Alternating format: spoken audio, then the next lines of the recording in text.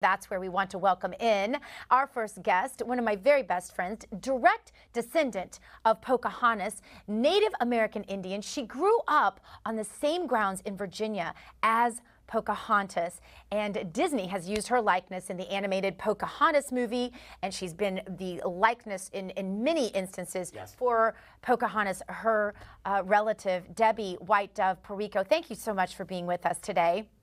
Uh, nice to have you. And Debbie, I, I want to say to you, I, I guess for me, I, I watch this and I have such a heart for you because I've I've heard your stories about growing up on the reservation. It was no small thing. You had no indoor plumbing. Times were very, very tough for you. You had family members who suffered tremendously. My first question for you out of the gate is how does it make you feel that Elizabeth Warren exploited what is really your culture? And your history, rightfully so, uh, not just for the purposes of winning a political election, but for jobs that might have been filled for, for perhaps by even your very own relatives. And yet she used your culture wrongly in order to get advantages that were intended for people that really have suffered the same sorts of uh, cultural circumstances as you did. How does that make you feel?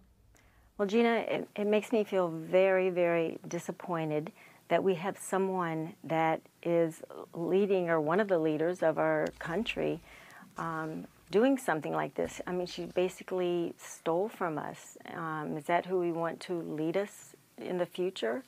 Um, it is. It's very disappointing. And, and go ahead, John. No, I, Debbie. What I was going to ask you was, does does this I guess what I'm trying to say is, as as a true Native American Indian, when you look at somebody like Elizabeth Warren, who goes out there and even after they're caught, is so flippant about it that they put out an ad, which is essentially a 2020 campaign ad, trying to prove a negative. How would you have liked to have seen Elizabeth Warren handle this? Once the DNA came back with a fraction of a fraction of a fraction, what would what would you say would have been the most respectful way for her to address this issue to the Native American Indian community in the U.S.? Well, first of all, I think she should have made an apology, saying that, you know, maybe they did think that she was, but now she finally took the test and she's glad to know that, that she's not.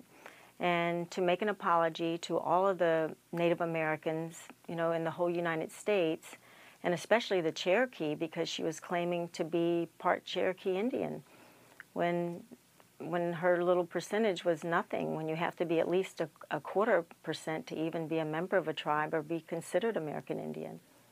Well, Elizabeth, you know, Elizabeth Warren Debbie probably is not the only person uh, to have a small fraction of uh, whatever minority in them. And so my question to you is, do you think it's a good time perhaps for America to revisit some of these laws that uh, give special privileges to certain disadvantaged groups perhaps and, and, to, and to maybe re-examine what exactly constitutes or deems someone from a disadvantaged culture such as uh, the Native American Indian?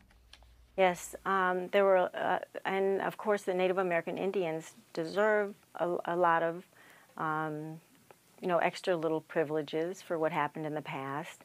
But, um, but yes, I think there should be. If someone can't just walk into a college and say, I'm, and write on their um, application, I'm, you know, part American Indian or I'm a Cherokee woman or whatever they want to put on there, they shouldn't be able to do that. They should have to prove it. They should have to bring in a card.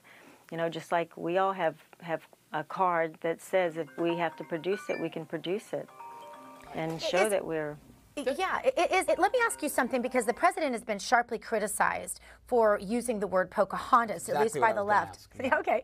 Uh, Debbie, do you take offense to uh, him calling Elizabeth Warren or anyone else Pocahontas? No, no.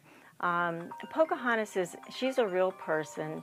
She's a heroine, actually. Uh, and when people hear her name, they don't think of a slur or anything bad. You know, they just think um, that she's an American Indian woman. Mm-hmm. A historical figure, really. An yeah. historical figure, yeah. exactly. Right. And Debbie, you have a, a, documentary that you're working on. I know you're working on also human trafficking, very prevalent in the Native American Indian population. I want to give you a chance to talk about any of that. Yes. Um, matter of fact, I'm going to be meeting with um, my cousin, Wayne Newton, uh, in about a week, and we're going to talk about um, getting together and also with some other leaders of um, nations to help with this. Um, um, this horrible thing that they're stealing the girls from the reservations, and so we, we need to put a stop to it, or at least we've got to start somewhere, and we're all going to get together and collaborate and, and try to do something. Awesome.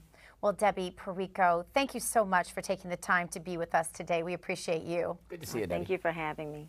Thanks for watching. If you'd like to see more live breaking news coverage, exclusive interviews, and videos from Newsmax TV, click subscribe on our YouTube channel and don't forget to download the free Newsmax TV app for alerts.